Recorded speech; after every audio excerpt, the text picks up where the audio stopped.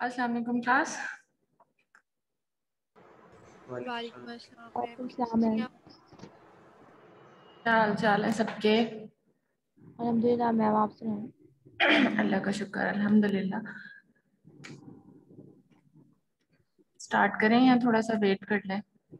आ रहे हैं सब बच्चे। आवाज़ क्लियर है मेरी? Yes ma'am. अच्छा अभी तक हम लोगों ने बेसिक्स पढ़ ली हैं अब आप लोगों को मेरा ख्याल है रेडियो बीइंग रेडियोलॉजिस्ट स्टूडेंट जो है ना आप, आपकी बेस क्लियर होती जा रही है। एक्चुअली इससे पहले ना आप लोगों का एक्सरे का कोई सब्जेक्ट नहीं था ठीक है? और जो भी आपको पढ़ाता था डायरेक्ट एम आर पे पढ़ाना शुरू कर दिया कुछ बच्चों ने ऐसे सब्जेक्ट ले लिए किसी ने सीटी उठा लिया किसी ने ऐसे। बेसिक्स किसी की क्लियर ही नहीं थी रेडियोलॉजी की कि अगर आपको पता है कि रेडिएशंस हैं तो रेडिएशंस कैसे परफॉर्म की जाती हैं रेडिएशंस कैसे प्रोड्यूस की जाती हैं, और उसके बाद इलेक्ट्रोमैग्नेटिक रेडिएशंस के क्या टाइप्स हैं जो एक्सरेज किस तरह किस तरह हमने बेसिकली हम लोग को तो डायग्नोस्टिक अपने इमेजिंग में डायग्नोस्टिक इमेजिंग में सोर्स एक्सरेज रिक्वायर्ड है। तो उसकी आपको प्रोडक्शन पता होनी चाहिए, उसकी हिस्ट्री पता होनी चाहिए। तो वो मेरा ख्याल है अब आपको क्लियर होती गई है कि पहले आपको थोड़ी सी फिजिक्स और रेडिएशन के बारे में पता होना चाहिए। देन आपको थोड़ी फिजिक्स देन आपको एक्सरेज का यूनिट और उसके कंपोनेंट्स और उसके बाद जो है हम लोगों ने आहिस्ता आहिस्ता फिजिक्स के बाद हम क्लिनिकल साइड पे आए हैं और उसमें हमने एक्सरेज की इंटरप्रिटेशन आपने पिछले लेक्चर में पढ़ी थी। जुबिया आपका ना माइक ऑन है, जिसकी वजह से डिस्टॉर्शन हो रही है। आप अनम्यूट कर लो खुद को, ठीक है। अच्छा फिर हमने क्लिनिकल uh, साइड पे एक्सरेज uh, की कुछ हमने uh, पढ़ी थी इंटरप्रिटेशन दैट मींस कि हमें एक्सरेज का पढ़ना आना चाहिए कि एक्सरेज के ऊपर अगर हमें ऑर्गन्स नज़र आ रहे हैं तो वो क्या शेड्स हैं ग्रे के क्या वाइट शेड हमें बता रहा है क्या हमें ग्रे शेड बता रहा है क्या ब्लैक शेड बता रहा है। इसके अलावा हम लोगों को किस तरह उसको क्या कह सकते हैं कि रीड करना है एक एक्सरे को। ठीक है, और किन किन पर्पस के लिए हम लोग जो है एक्सरेज को परफॉर्म करते हैं। ठीक है, आज का लेक्चर जो है ना it is all about x-ray positioning अब हमने क्लिनिकल पढ़ लिया था, अब हम उन एक्सरेज को परफॉर्म करेंगे फॉर डिफरेंट रीजन्स और उसके लिए हम लोग पेशेंट की पोजिशनिंग कैसे करेंगे। ठीक है? और उसके अलावा हम लोग उसके जो फैक्टर्स हैं जो हमने सेट करने हैं कुछ जिसकी वजह से एक्सरेज प्रोड्यूस होंगे अकॉर्डिंग टू डैट ऑर्गन मैंने कहा था वो डिफर कर रहे होते हैं ठीक है? हम लोगों के पास डिफरेंट ऑर्गन्स uh, की डेंसिटी डिफरेंट होती है तो उसके लिहाज उसके अकॉर्डिंगली फिर हम लोग जो है अपने फैक्टर्स को सेट करते हैं कितना केवी रखना है हमने कितना एम रखना है। ठीक है, उसके अलावा हम लोग कुछ और चीज़ें देखेंगे इसके अंदर के वो क्या चीज़ें हमने सेट करनी है for the preparation as well as for the machine setting ठीक है? प्रेपरेशन में आ जाता है पेशेंट प्रेपरेशन के, हमने पेशेंट को कैसे प्रिपेयर करना है। लास्ट लेक्चर में हमने पढ़ा था कि फॉर द एक्सरेज हम लोगों को मेटालिक ऑब्जेक्ट्स रिमूव करवाने हैं। ठीक है मेटालिक ऑब्जेक्ट क्या कर सकते हैं? मेटालिक ऑब्जेक्ट हमारे पास आर्टिफैक्ट्स क्रिएट करते हैं, ठीक है? आर्टिफैक्ट्स क्या होते हैं? आर्टिफैक्ट्स अनवांटेड इमेजेस होते हैं जो कि हम लोगों को रिक्वायर्ड नहीं होते। कुछ हमारे पास आर्टिफैक्ट्स यूजफुल होते हैं, वो हम पढ़ेंगे आगे अल्ट्रासाउंड में भी, कि वो हमें बता रहे होते हैं फॉर द डायग्नोस्टिक पर्पज के अगर ये आर्टिफैक्ट आ रहा है डैट मीन्स के वो हमें ये चीज़ बता रहा है and that is helpful for our diagnose diagnosis ठीक है? और अदरवाइज़ हमारे पास कुछ मैन मेड आर्टिफैक्ट्स होते हैं, कुछ हमारे पास मशीन मेड आर्टिफैक्ट्स होते हैं मशीन की वजह से, कुछ टेक्निकल प्रॉब्लम की वजह से आर्टिफैक्ट्स आ सकते हैं। कुछ हमारे पास पेशेंट की पोजिशनिंग या पेशेंट की मूवमेंट की वजह से आ सकते हैं। फॉर एग्ज़ाम्पल uh, अगर हम पेशेंट को स्टैटिक खड़ा करके जाते हैं और वो मूव करना शुरू कर देता है और उसकी वजह से हम लोग को ब्लरिंग आना शुरू हो जाती है एमएच के ऊपर तो वो मूवमेंट आर्टिफेक्ट हो सकता है। उसने ज्वेलरी नहीं रिमूव किया है उसकी वजह से कोई आर्टिफेक्ट uh, आ गया है ठीक है? उसके अलावा मैंने आपको शायद बेरियम की कुछ चीज़ें बताई थी। बेरियम के बारे में बताया था कि कुछ हम लोग स्टडीज़ करते हैं फ्लोरोस्कोपिक प्रोसीजर जिसमें हम बेरियम जो है पेशेंट को या तो इंजेक्ट करते हैं या फिर उसको पिलाया जाता है, ठीक है? तो उसमें क्या होता है, बेरियम ने क्या करना होता है, बेरियम हमारी बॉडी के अंदर हाईलाइट करता है होलो ऑर्गन्स को और वो वाइटिश हमें नज़र आते हैं। समटाइम्स ऐसा होता है कि पेशेंट को बड़ी, क्योंकि उसने उस जो जो हमने मटेरियल उसको पिलाना है ना उसने इमेज क्रिएट करना है व्हाइट कलर का, ठीक है? समटाइम्स और उसको बड़ी केयर केयरफुली जो है ना पेशेंट को हम लोग कहते हैं कि आपने इसको पीना है। समटाइम्स पेशेंट क्या करते हैं, उसको पीते हुए कहीं गिरा देंगे, उसके कपड़ों पे कहीं लग जाएगा, ठीक है? तो वो कहीं या फिर उसको हमने कोई ऐसा गाउन दे दिया जिसके ऊपर ऑलरेडी जो था वो बेरियम या आयोडीन जो भी है हमारे पास कॉन्ट्रास्ट मटेरियल वो उसके ऊपर गिरा होगा तो वो वाइटिश शेड हमें नज़र आ रहा होगा। और क्या करेगा, वो जब हम इमेज लेंगे तो वो जो है हमें कोई वाइट शेड उसके ऊपर नज़र आ सकता है। आ, वैसे तो वो आर्टिफैक्ट है लेकिन समटाइम्स वो हम लोगों को आ, इस तरह आ, शो करेगा जिस तरह के हम लोगों का वहाँ पे कोई मतलब कोई प्रॉब्लम हो सकती है तो वो मिसडायग्नोज कर सकता है ठीक है? अच्छा आज का जो लेक्चर है वो है हमारा एक्सरे पोजिशनिंग का। एक सेकेंड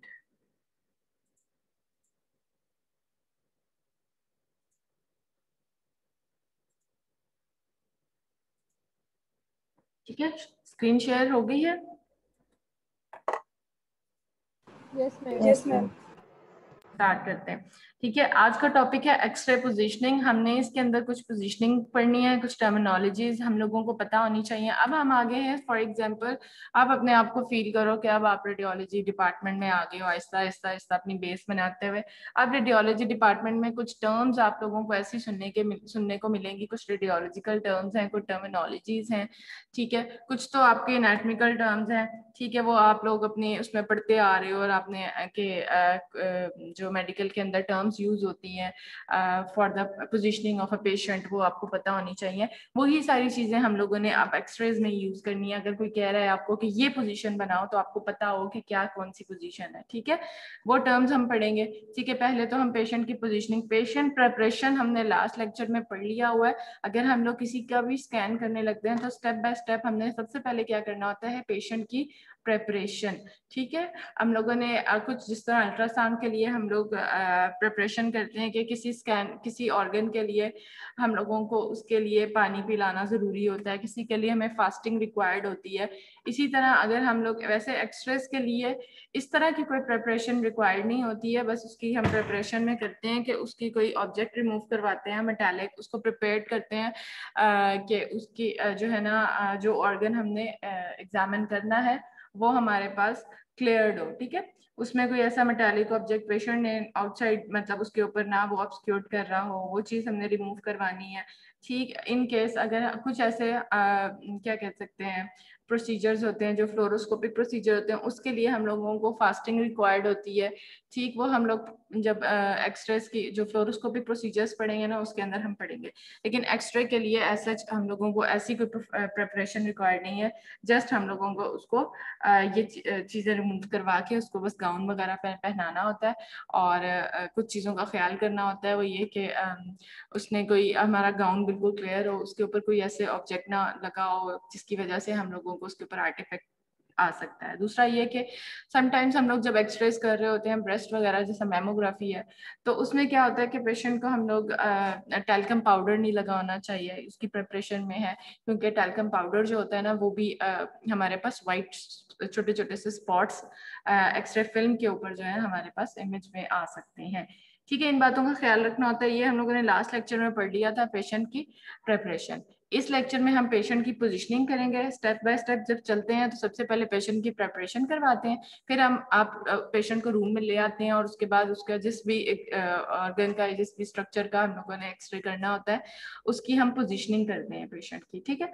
पोजिशनिंग करेंगे अकॉर्डिंगली पहला आपको रूल ऑफ़ टू जो मैंने बताया था आपको एपीलेटरल तो दो व्यूज़ हमेशा लेने हैं, हर हर स्ट्रक्चर के जो है ना एपीलेटरल जो है वो लेने लेने हैं। इसके अलावा अगर आप रेडियोलॉजी डिपार्टमेंट में हो, सबसे पहले पेशेंट की प्रिस्क्रिप्शन आपने देखनी होती है कि उसको आया डॉक्टर ने क्या प्रिस्क्राइब किया हुआ है। अब आपको पता होना चाहिए बीइंग रेडियोलॉजी अब यहाँ पे फ़र्क पता चलता है कि टेक्नीशियन का और आपका। ठीक है टेक्नीशियन का क्या है? उसने पढ़ा चलो जी एक्सरे करना है एपीलेटरल पेशेंट को खड़ा किया ठक करके इमेज ले लिया, ठीक है? आपको पता है कि अगर अगर कुछ एक्स्ट्रा आप लोगों को कुछ इमेजेस लेने हैं। आपको पता है कि उसकी क्या हिस्ट्री है? आपने पहले उसकी हिस्ट्री देखनी है कि उसको किस पर्पस के लिए करवाया जा रहा है एक्सरे ठीक है? या फिर उसका फॉलो अप हो रहा है ठीक है? उस, उससे पहले उसको होते आ रहे हैं कुछ स्कैन हो, होते आ रहे हैं उसके लिए। उसका फॉलो अप उसको रिक्वायर्ड है। ठीक है उसके लिए फिर हम लोग उस आपको हिस्ट्री पता है उसकी आपको उसकी डिज़ीज़ का पता है। अब आपको उसकी डिज़ीज़ का पता है तो आपको उसका पूरे का पूरे ट्रीटमेंट का उसका आ, क्या कह सकते हैं इन्वेस्टिगेशन जो उसकी चल रही है वो आपको पता है ठीक है? तो आप उसके एक्स्ट्रा व्यूज़ कहीं पे लेने पड़ जाते हैं तो वो आपने लेनी है ठीक है? एक्स्ट्रा व्यूज़ जो है वो आप आ, जो है, वैसे तो मैं इसमें बेसिक बेसिक सारे जो है ना, आज पढ़ाऊँगी, जो हम लोगों को लेने हैं। लेकिन इसके अलावा डिटेल जो है ना, वो आपके पास एक इमेजिंग की बुक है एक्सरे पोजिशनिंग की और एक्सरे टेक्निक्स की। वो बुक जो है ना, वो आप लोग ले लेना। अभी लेनी है, अभी ले लो। अगर आपने वैसे तो वो फ़ील्ड में बहुत काम आती है। जब भी किसी ने आपको बोल दिया अच्छा चलो जी ऑब्लीग एक्सरे करके दिखाओ अच्छा चलो जी आपको फिर फैक्टर्स का, आपको डिस्टेंस का पेशेंट पोजिशनिंग का, इन चीज़ों का आइडिया होना चाहिए। हर एक्सरे का x-ray from head to to head to toe किसी भी जगह का हम लोग कर सकते हैं ना तो वो हर, लेकिन आज हम लोग जो है ना बेसिक बेसिक पढ़ेंगे, सबसे इम्पोर्टेंट जो लंग्स एक्सरेज होते हैं नी एक्सरेज होते हैं स्पाइन के एक्सरेज होते हैं हैंड के एक्सरेज होते हैं, ये चीज़ें जो है ना, ये इसमें हम पढ़ेंगे। ठीक हो गया? अच्छा फिर आ गया हम लोगों की पेशेंट प्रिपरेशन उसके बाद आ गया पेशेंट की positioning according to the organ हमने एपिलेटरल तो करना ही करना है, फिर हम लोगों ने उसकी पोजीशनिंग करनी है कि हमने कौन से स्ट्रक्चर का एक्सरे करना है. पेशेंट की प्रिपरेशन हो गई पेशेंट की पोजिशनिंग हो गई पेशेंट के हम लोगों ने पोजिशनिंग के बाद आ जाना है अपने कंसोल के ऊपर. ठीक है? कंसोल के ऊपर आ गए अब आपने उसके ऊपर क्या करना है? आपने उसके ऊपर फैक्टर सेट करने हैं. अब आप देखोगे पेशेंट की पहले तो थिकनेस ठीक है? पेशेंट बीज है तो आपने कितनी रखनी है अगर ठीक, उसके अलावा अगर लीन पेशेंट है, कोई तो उतने कितने फैक्टर्स रखने हैं, हमें उसके लिए पेनिट्रेशन इतनी रिक्वायर्ड नहीं होती। ज़्यादा कोई मोटा पेशेंट होगा तो हमें उसके, क्योंकि क्या होता है केसिड जो है ना पेशेंट के पीछे पड़ी होती है। ठीक है रेडिएशन ने क्या करना होता है कि जो रेज है हमारी, वो पेशेंट के अंदर से गुजरते हुए बैक हमारे पास जो केसेट होता है, उसके ऊपर इमेज बनाता है। ठीक है तो वो हम लोगों ने उसके अकॉर्डिंगली फैक्टर सेट करने हैं कि उसकी पेनिट्रेशन इतनी हो कि वो पेशेंट से गुजर के हमें एक अच्छा इमेज बना के दे सके, ठीक है? तो अलारा को हमेशा फॉलो करना है। व्हाट इज़ अलारा आपको पता हो व्हाट इज़ कार्डिनल प्रिंसिपल आपको पता है। ये सारी रेडिएशन प्रोटेक्शन के जो हम लोगों ने first lecture first second lecture में पढ़े थे, ये वो सारी चीज़ें हैं, ठीक? अच्छा अब आ जाओ radiographic positioning it is use routinely to describe the position of the patient for taking various radiograph standard nomenclature is employed with respect to the anatomical position अब आ जाओ एनाटमिकल पोजीशन अब आपको पता होनी चाहिए। वैसे तो अब आप पढ़ते हैं, सबको पता होंगी। सिर्फ़ हम रिवाइज करने के लिए बिकॉज़ अब हम लोगों ने पोजिशनिंग पढ़नी है ना तो अब आपको पता होना चाहिए what is erect position with what is sagittal view what is coronal view what is ये सारी चीज़ें जो ना एनाटमिकल पोजिशन आप लोगों ने एनाटमी में पहले, दूसरे सेमेस्टर में, पहले सेमेस्टर में बल्कि पहले लेक्चर के अंदर ये सारी टर्मिनोलॉजीज आपने पढ़ी हुई है।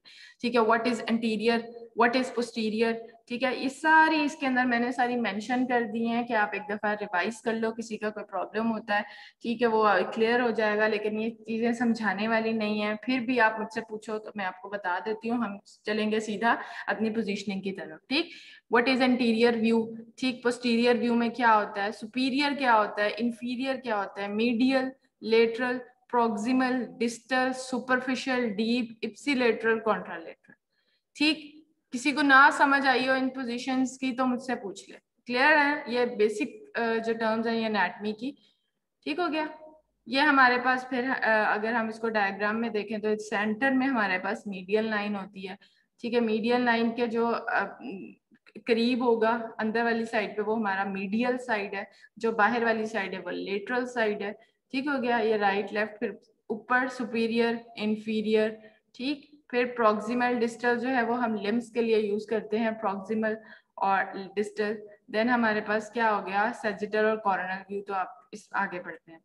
अच्छा फिर हमारे पास इन, ये तो हो गई हमारे पास क्या? बेसिक टर्मिनोलॉजीज फिर हम अगर प्लेन्स की बात करें तो हम लोग इनको अगर डिवाइड करते हैं कट करते हैं तो planes are very important in radiology आपको पता है, आप सिटी स्कैन के अंदर एक्सियल व्यूज़ लेते हो स्लाइस थिकनेस आपको पता होनी चाहिए कि हम इतनी स्लाइस थिकनेस जब ये सारी बातें जब हम कर रहे होते हैं ना कि स्लाइसिस लेने हैं सेजिटल व्यू में कट करना है लेकिन जब ये, अब आपको पता होगा तो आपको ये ज़रूर पता होना चाहिए कि वो अगर आप ये वाला व्यू कर रहे हैं तो वो बॉडी को किन टू पॉइंट्स के अंदर या किन दो हिस्सों में डिवाइड कर रहा है कट कर रहा है और उससे हमें एनाटमी रीड करना इजी हो जाती है। ठीक है? एक्सियल व्यू क्या होता है? हॉरिजॉन्टल या perpendicular to the long axis of the body transverse view जिसे कहते हैं हम लोग, इसमें क्या होता है कि ये एक्सियल व्यू सिटी स्कैन के अंदर या एमआरआई के अंदर बहुत ज़्यादा मतलब होता ही, जो स्कैनिंग है वो एक्सियल स्लाइसिस ही होते हैं सिटी और एमआरआई के अंदर। उसके अंदर हम पेशेंट को इस तरह ट्रांसफर्सली कट करते हैं और उन स्लाइसिस को रीड करते हैं। आप ये यूँ सोचो कि जब हम पेशेंट को कट करते हैं ना तो you are standing at foot side ठीक है? आप इस साइड पे खड़े हो और पेशेंट को इस तरफ़ से देख रहे हो और इस तरह अगर आप कट सेक्शंस में अगर आपको कोई स्लाइस नज़र आ रहा है तो अनेटमी इस तरह आपने पढ़नी है कि आप उसके फुट साइड पे खड़े हो। ठीक है? फुट साइड पे खड़े होगे और उसको कट सेक्शन में देखोगे तो अब आपको अनेटमी बड़ी क्लियर नज़र आएगी कि हमने किसी ऑर्गन को अगर कट किया है एक्सिलरी तो वो हमें किस तरह नज़र आएगा। अच्छा एक्सियल क्या करता है? डिवाइड करता है सुपीरियर और इंफीरियर को। आप सेंटर से इसको कट कर लो और एक स्लाइस उठा लो। आप ब्रेड से एग्जांपल ले लो। For example this patient is a bread ठीक है? ब्रेड के स्लाइसिस होते हैं ना तो अब आप इस, इस तरफ़ वाले पाँव वाली साइड पर खड़े होके ना समझो आपने एबडोमन का यहाँ वाला स्लाइस रीड करना था। अब आपको नेट में अब आपने एक स्लाइस यहाँ से उठा लिया। जैसा ब्रेड के अंदर स्लाइस होता है ना उसको उठा के सामने आप रीड कर रहे हो रेक्टेंगल जो उसके अंदर स्ट्रक्चर्स जो राइट साइड पे हैं वो राइट आप आपके किस तरफ़ नज़र आएँगे वो? वो आपके लेफ़्ट साइड पे नज़र आएँगे क्योंकि आप सामने यूँ खड़े होके देख रहे हो। ठीक है? पेशेंट को कट सेक्शंस में आपने देखना है। अच्छा सेजिटल पेन क्या करता है? Vertical plane parallel to the medial line जो हमारे मिड सेजिटल लाइन है ये मीडियल लाइन है सेजिटल क्या करता है? इसको कट करता है। राइट right और लेफ़्ट को कट करता है। ठीक है ये तो आपको पता ही है। फिर उसके बाद कॉर्नल प्लेन क्या करता है? हमारे मीडियन uh, लाइन को इंटीरियर और पोस्टीरियर में डिवाइड करता है। अगर हम साइड से खड़े होकर पेशेंट को देखें तो साइड से अगर उसको कट कर दें यूँ करके ठीक है तो अब आपके अगर हम और फिर हम आप उसके पेशेंट के बिल्कुल साइड पे खड़े हैं। आप हमेशा अनेटमी पढ़ने के लिए उसके, उस जगह पे खड़े हो जाओ तो आपको अनेटमी क्लियर आपने इमेजिन करना है कि आप उस साइड पे खड़े हो तो आपको अनेटमी किस तरह की नज़र आएगी फिर? अगर हम आप पेशेंट को उस तरह कट कर देते हैं, ठीक है? अगर हम पेशेंट को इस तरह कट कर दें, ये वाला पार्ट हटा दें और आप इस साइड पे खड़े हो, इस साइड से खड़े होकर देखोगे तो जो कट सेक्शन इस तरह नज़र आ रहे हैं पेशेंट के, वो जो जो स्ट्रक्चर हैं वो हमें सैजिटल प्लेन में नज़र आएँगे. क्लियर है? ये हो गए हमारे planes coronal plane sagittal plane जो कि क्या करता है? कॉर्नल एंटीरियर पोस्टीरियर में डिवाइड करता है सैजिटल राइट लेफ़्ट में ट्रांसफ़र सुपीरियर इंफीरियर में। ठीक हो गया? फिर हमारे पास कुछ बॉडी की पोजीशंस हैं, जिसे हम जब कहेंगे कि इस पोजीशन के अंदर पेशेंट को आपने एक्सरे करना है तो आपको इनकी पता होनी चाहिए। व्हाट इज़ इरेक्ट इरेक्ट क्या होता है? वाइल स्टैंडिंग और सिटिंग आपने बिल्कुल स्ट्रेट बिठाना है या खड़ा करना है इरेक्ट पोजीशन हो गई। डिक्यूबिटस किसे कहते हैं? डिक्यूबिटस में पेशेंट जो है वो एक साइड पे लेटा होता है, अपनी ज़ुबान में क्या दें करवट पे लेटा होता है, ठीक है? तो वो हमारे पास दो टाइप के होते हैं लेटरल डिक्यूबिटस भी हो सकता है मतलब और उसको हम लोग या तो राइट डिक्यूबिटस कहते हैं या लेफ़्ट डिक्यूबिटस कहते हैं, ठीक है? या तो वो राइट साइड की करवट होगी या लेफ़्ट साइड की करवट होगी डिक्यूबिटस आप करवट को कह लो। ठीक है सुपाइन कौन सा होता है? बिल्कुल स्ट्रेट सीधा पेशेंट लेटा होता है। आ, आ, ये जो ट्रेंडलबर्ग पोजीशन है इसमें क्या होता है? पेशेंट का जो हेड है ना वो थोड़ा सा नीचे होता है इंक्लाइंड होता है। मैं आगे इमेज में आपको दिखाती हूँ। पेशेंट का हेड थोड़ा नीचे होता है और जो आप उसकी फीट होती है ना फीट्स वो थोड़े से ऊपर वाली साइड पे होता है इंक्लाइंड होता है। तो इस पोजीशन में हम कौन से एक्सरेस करेंगे? लेकिन अभी आपको ये पोजीशन पता चाहिए। प्रॉन कौन सा होता है? बिल्कुल उल्टा लेटा होता है। लेटरल डिक्यूबिटस किसी भी एक साइड के ऊपर करवेट। ठीक है? तो वो राइट भी हो सकता है और लेफ़्ट भी हो सकता है। ये अब आप इमेजेस में देख लो प्रॉन्स सुपाइन लेटरल डिक्यूबिटस ठीक है? लेफ़्ट लेटरल और राइट लेटरल फॉलर्स किस तरह होता है? पेशेंट थोड़ा सा बैक से उसको बिठाया जाता है इतना, ठीक है? और ये देखो ट्रेंडलबर्ग पोजीशन के अंदर जो है ना, हमारे जो फीट है, वो आप देख रहे हो कि थोड़ा सा इंक्लाइंड है, वो ऊपर है, सर वाली साइड नीचे है। ये हमारा जो टेबल होता है, जिसके ऊपर हम पेशेंट को लेटा के एक्सरे करते हैं, वो रोटेट हो सकता है, उसको हम लोग इसको ऊपर नीचे करके एक्सरे परफॉर्म करते हैं। मूवमेंट्स का आपको पता होगा फ्लेक्शन क्या होती है? Extension abduction adduction pronation supination circumduction opposition reposition elevation depression eversion inversion protrusion या रिट्रैक्शन ये सारी मूवमेंट्स भी आपको, आपने एनाटमी में बहुत अच्छे से पढ़ ली हैं, लेकिन फिर भी मैंने इसको इस इनमें डाल दिया है और आप इसको रिवाइज कर लेना। एक एक लाइन पढ़ोगे, आपको पता चल जाएगा कौन कौन सी पोजिशन किसको कहते हैं फ्लेक्शन किसे कहते हैं एक्सटेंशन किसे कहते हैं, ये सारी पोजिशन होगी। अब आ जाओ इम्पोर्टेंट प्रोजेक्शन प्रोजेक्शन का वर्ड अब आप जब सुनोगे ना रेडियोलॉजी में डैट मीन्स के आपके एक्सरेज किस मतलब क्या उनकी प्रोजेक्शन है? ठीक है? अब आप लोगों ने हम कहते हैं कि एपी व्यू करना है। तो एपी व्यू में आपको पता होना चाहिए कि एक्सरेज जो है ना, वो कहाँ से किधर को जाएँगी। ठीक है? लेटरल व्यू के अंदर किधर को जाएँगे, किधर से एंटर होंगे। तो दीज आर द प्रोजेक्शन अब एपी व्यू है एंट्रोपोस्टीरियर व्यू हमने लंग्स का फॉर एग्ज़ाम्पल एक्सरेज करना है। ठीक है, आपने चेस्ट का चेस्ट एक्सरे करना है, आपने इसका एपी व्यू करना है। एपी व्यू का क्या मतलब हुआ? है पेशेंट को हमने किस तरह इसको खड़ा करना है? आपने हमेशा ये याद रखना है कि जो वर्ड पहला आ रहा है ना, उस साइड से हमारी रेज एंटर होंगी और उसके दूसरी साइड पे हमारी केसेट होगी। ठीक है, इसका ये मतलब हुआ। एंट्रोपोस्टीरियर एंटीरियरली पेशेंट के जो है वो एक्सरेज जो है वो उसके अंदर जाएँगे और उसके बैक पे पोस्टीरियर साइड पे कैसेट होगी, वहाँ पे इमेज तो इस इमेज को हम कहते हैं एंट्रो पोस्टीरियर जब भी आपने एपी पोजीशनिंग करनी है तो पेशेंट को आपने जो हमारा पीछे बकी स्टैंड होता है ना, जिसके ऊपर कैसेट लगी होती है, बकी स्टैंड को आपने पेशेंट के पोस्टीरियरली पेशेंट यूँ खड़ा होगा बिल्कुल बकी स्टैंड के साथ, और आपने जो उसकी रेज है, वो उसकी एंटीरियरली अंदर एंटर होंगी और पोस्टीरियरली इमेज परफॉर्म होगा। दिस इज़ एंट्रोपोस्टीरियर ठीक है, इसी के ऑपोजिट क्या होगा? पोस्ट्रो पोस्ट्रो एंटीरियर इसमें क्या होगा? पेशेंट जो है पोस्टीरियर साइड से उसकी, उसको उल्टा खड़ा कर देंगे। फॉर एग्जांपल दीवार के वो जो, बकी जो हमारे स्टैंड है, उसके साथ खड़ा कर दें अगर हम लोग तो उसकी जो इंटीरियर साइड है, वो केसेट के साथ, ठीक? और जो उसकी रेज है, वो एंटर होंगे किस साइड से? पोस्टीरियर साइड से। लेटरल किसी भी एक साइड से, अब ये नहीं पता हमें कि राइट लेटरल कर रहे हैं या लेफ़्ट लेटरल कर रहे हैं तो लेटरल के अंदर हम किसी भी एक साइड से रेस को एंटर करेंगे और दूसरी साइड पे हमारी केसेट होगी ठीक है? उसको हम किस तरह खड़ा करेंगे? या आप ये समझ लो कॉर्नल प्लेन ठीक है? आप साइड से एंटर कर रहे हो रेस को और दूसरी साइड पे उसके कैसेट होगी। ऑब्लिक प्रोजेक्शन में क्या होता है? थोड़ा सा हम एंगल देते हैं uh, किसको? हमारी रेस को ताकि वो ऑब्लिकली हमारे पास एक एंगल बच जाए और हमारे पास इमेज हो। एक्सियल इमेजेस क्या होंगे? एक्सियलरी मतलब कि आपने उसको कट करना सुपीरियर और में, इस तरह आपने उसको रेज को एंटर करवाना है। दीज आर द प्रोजेक्शंस ठीक है? ये एपी वर्सेस पीए है। अगर आप ये देखो तो ये पेशेंट ये कौन सा व्यू है? ये एंटीरियर पोस्टीरियर ठीक है? एंट्रो पोस्टीरियर दैट मींस के rays are coming entering from the anterior side और पीछे जो हमारे पास फ़िल्म लगी हुई है that is on the posterior side ठीक है? ये हमारे पास कौन सी है? पोस्ट्रोलेटरल सॉरी पोस्ट्रो एंटीरियर इसमें क्या है? पेशेंट के पोस्टीरियरली हमारे एक्सरेज रेज अंदर एंटर हो रही है बॉडी में और इमेज कहाँ पे बन रहा है? हमारे इंटीरियर साइड के ऊपर, जो हमारा कैसेट है, उसके ऊपर। ठीक है? क्लियर है? एपी और पी व्यू आपने बस ये याद रखना है कि जो हमारा पहला वर्ड है, वहाँ से हमारी रेज एंटर होंगी। ठीक है? एंटीरियर एपी के अंदर इंटीरियर साइड से और पोस्टीरियर साइड पे हमारी कैसेट होगी। ठीक हो गया? अब आज हम लोग अब एक्सरेज को वन बाय वन जो है जो मेजर हमारे पास आ, वो है उनको हम लोग देखते जाते हैं। और हमने सारी सब कुछ पढ़ लिया। अब हमने सिर्फ़ हमें समझ आ जाएगा। हमने हमने एक्सरेज के अंदर भी डिफरेंट पढ़ा था कि जो कुछ अभी टर्मिनोलॉजीज अब आपको ना इसमें सुनने को मिलेंगी जो मैं कह रही थी कि अब आपको टर्म्स आनी चाहिए। ठीक वो इसमें भी सुनने को मिलेंगी आपको बार बार अब आपको सारा क्लियर हो जाएगा जब भी आपने किसी किसी भी ऑर्गन का एक्सरे परफॉर्म करना है। आपको टर्मिनोलॉजीज का पता है, आपको एक्सरे की प्रोजेक्शंस का पता हो गया।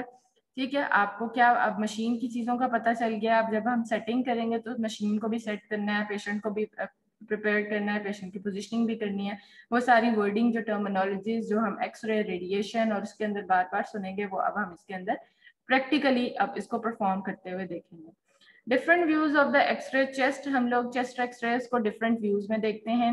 मेनली तो आपको पता है कि जो है ना एपी या पीए लेकिन चेस्ट के अंदर मोस्ट कॉमन जो है वो पीए व्यू किया जाता है और लेटरल तो आपको पता ही है रूल ऑफ़ टू के अंदर हमने दो व्यूज़ तो लेने ही लेने होते हैं। ठीक है?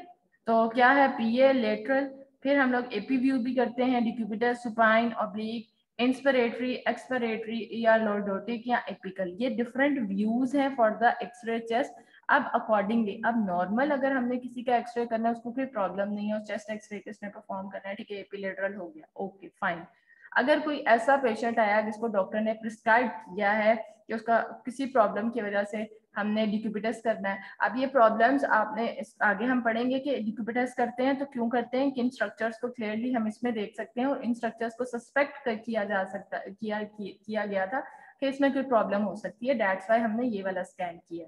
ठीक है? अब इन स्कैन्स का आपको ये पता होना चाहिए कि ये स्कैन्स किसके लिए किया जाता है? कौन से स्ट्रक्चर्स इनमें क्लियर नज़र आते हैं, जिसकी वजह से हम ये करते हैं एडिशनल व्यूज़ ठीक है?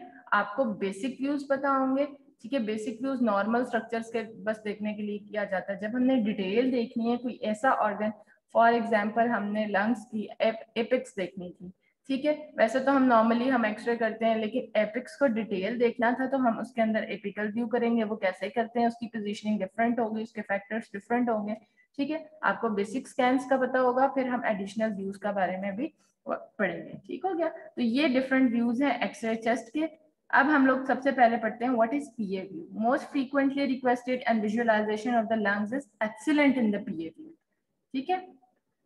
अच्छा पोजिशनिंग में क्या करते थे patient faces towards the cassette and the tube is six feet away from the patient आगे मैंने पूरे एक एक चार्ट बना दिया हुआ है। पेशेंट फैक्टर का वो आपने पढ़ लेना है। उसमें आपको सारी चीज़ें क्लियर हो जाएँगी। एक चेस्ट एक्सरे परफॉर्म करने के लिए आपको क्या फैक्टर्स रखने हैं?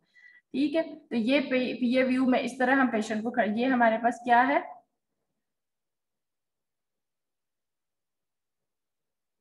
X-ray x-ray tube x-ray tube ये लगी हुई है ठीक है? हमारे जो बैक पे लगी होती है ये कॉलीमेशन है जो बॉक्स है ना इसको कहते हैं कॉलीमेशन बॉक्स ठीक है? इसके ऊपर हम उसको कॉलीमेट कर सकते हैं। ये पीछे जो स्क्वायर सी नज़र आती है ना छोटी सी यहाँ से लेके ये देख रहे हैं? ये जो ऊपर वाला यहाँ तक। ये जो मेरा एरो आ रहा है, ये और ये। ये जो गोल मटोल सी नज़र आती है ना ट्यूब की तरह, ये एक्स्ट्रा ट्यूब होती है और ये बॉक्स जो आगे नज़र आ रहा होता है ना दिस इज़ कॉलीमेशन बॉक्स ठीक है? इसको हम कॉलीमेट कर लेते हैं। एक्सरेज जो है वो इसमें से निकलेंगे, ठीक है? कॉलीमेशन के थ्रू हम उसको कॉलीमेट कर लेंगे कि हमने कितना इसके अंदर एरिया इसको इंक्लूड करना है। ठीक, उतने ही फिर हमने रेडिएशन निकलेंगे और उतने ही एरिया में जाके हमें एक्सरेज जो है वो, ठीक है? पेशेंट की पोजीशनिंग देख रहे हो कैसे की हुई है पी व्यू के अंदर? दोनों हैंड उसके जो है वो उसने साइड पे रखे हुए उसकी चिन जो है वो बक्की के ऊपर इस तरह रखी हुई है। थोड़ी सी एक्सटेंडेड उसकी नेक कर देते होते हैं। बिल्कुल उसको अटैच करते हैं इंटीरियर व्यू को। इंटीरियर साइड को उसकी उसके साथ बक्की के साथ। केसिट होती है वहाँ पे। अगर गैप आ जाता है तो वो वाला स्ट्रक्चर हमें थोड़ा सा आ, आ, बड़ा बड़ा मैग्नीफाई नज़र आता है। तो हमने उसका इंटैक्ट रखना है। पेशेंट को बिल्कुल उसके साथ अटैच करवाना है। केसिट के साथ। ठीक है। अब ये देखो, उसके ऊपर हमारे कॉलीमेशन जो रहती है ना, ये जो लाइट है ना बेसिकली लाइट हमें कॉलीमेशन बता रही है। अब जितनी कॉलिमेशन हम खोलेंगे, हमें पता है कि इस एरिया से लेकर इस एरिया तक हमने करना था। ठीक, अभी हम चेस्ट एक्सरे का देखते हैं कि कितनी कॉलिमेशन हमने रखनी थी। इसका मतलब है कि हमने किस जगह से कितनी उसकी लाइट लाइट हमें बता देगा। लाइट जब उसको ऑन करेंगे ना उसमें से लाइट फिर हमने उसका सेंट्रल पॉइंट कहाँ रखना है? ठीक है, ये प्लस साइन सा बनता है इसका सेंट्रल पॉइंट हमने कहाँ रखना है?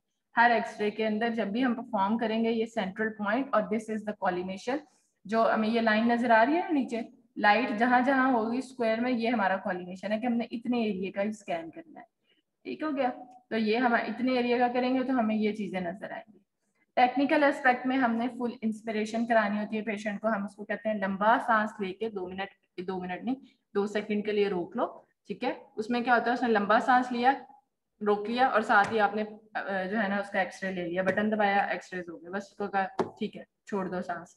ठीक है इंस्पिरेशन का क्या काम क्या हेल्प करेगा इंस्पिरेशन फुल इंस्पिरेशन जो होती है? On full inspiration the diaphragm should lie at the level of eight to ten posterior rib और five to six anterior rib ठीक है, ये हमारे जो डायफ्राम है ना, उसको थोड़ा सा नीचे कर देता है इंस्पिरेशन में तो हमारा जो पूरा लंग है वो क्लियर नज़र आता है। ठीक है?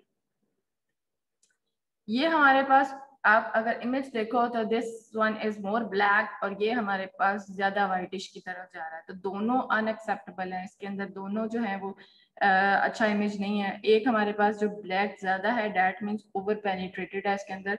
क्या है पेशेंट के? हमने फैक्टर्स बहुत ज़्यादा जो है ना रख लिए थे जिसकी वजह से हर चीज़ ब्लैक नज़र आ रही है।